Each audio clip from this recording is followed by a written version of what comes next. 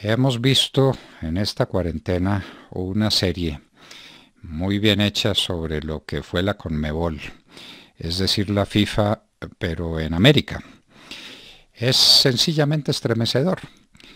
Todos estos eh, representantes del fútbol de América son una partida de bandidos, de salteadores de caminos, todos unos ladrones.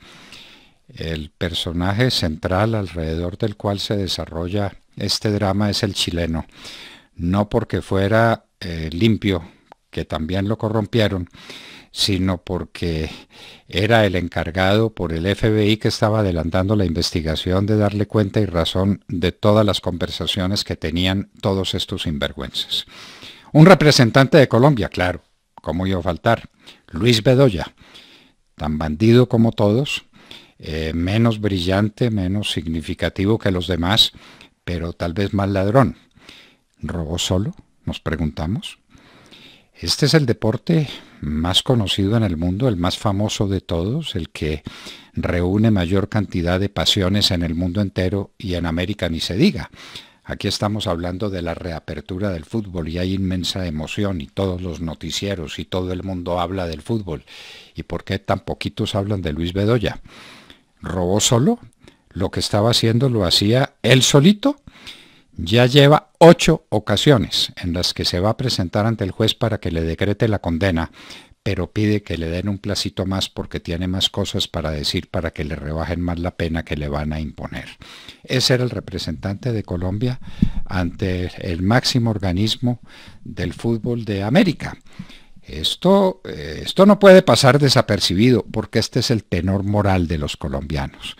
Aquí se nos acabó el sentido de la dignidad.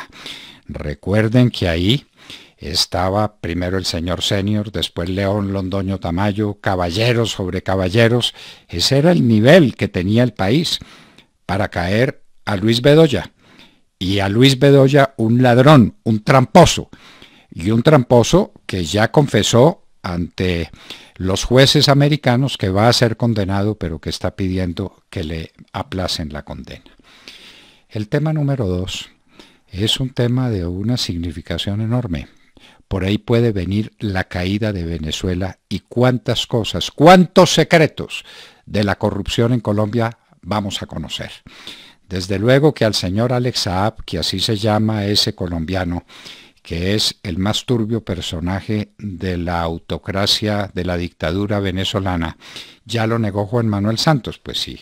Judas Iscariote negó a Jesús, Juan Manuel Santos no va a negar a Alex Saab, un personaje que se sienta con él a la mesa como personaje central del gobierno de Chávez, porque era el que ya robaba para Chávez y robaba para todos, Alex Saab. Estamos en este momento Mm, siguiendo apasionadamente la discusión internacional que se hace alrededor de Cabo Verde. Ya Rusia intervino, claro, para defender a Saab, para defender el comunismo internacional representado por estos bandidos venezolanos que son los que más roban. Porque el comunismo es así, el comunismo es esencialmente corrupto, esencialmente corruptor, no solamente incapaz de darle bienestar a los pueblos, sino que se los roba eh, definitivamente. ¿Qué va a pasar en Cabo Verde?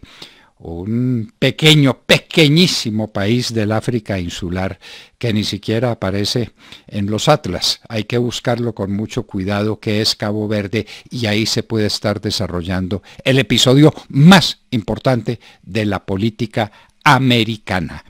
Si Saab va a los Estados Unidos y canta como tiene que cantar allá para no pasar el resto de su vida en una cárcel, tendremos que saber muchas cosas sobre el gobierno de Caracas y sobre el gobierno de Colombia y sobre las conexiones que tiene la izquierda colombiana con ese mundo de corrupción, ese mundo deleterio que es el que manda en Venezuela. Dos grandes temas, les recomendamos la, eh, la presentación que hace Amazon del, se llama El Presidente, se llama, sobre la FIFA y sobre la manera como la Conmebol eh, dirige los destinos del fútbol y les recomendamos que sigan apasionadamente, paso a paso, este drama de Alex Saab por el, el que descubriremos muchas cosas que pasan en Venezuela y muchas cosas que pasan también en Colombia. Señores, estamos a puertas de un inmenso descubrimiento.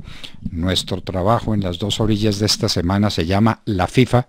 Se ha podido llamar también el presidente, pero creíamos que el nombre era equívoco y le pusimos La FIFA. Gracias a todos ustedes y sigan apasionadamente estos dos grandes episodios de la vida contemporánea. ¿Qué va a cantar Luis Bedoya en los Estados Unidos? ¿Y qué va a cantar Alex Saab también ante los jueces norteamericanos?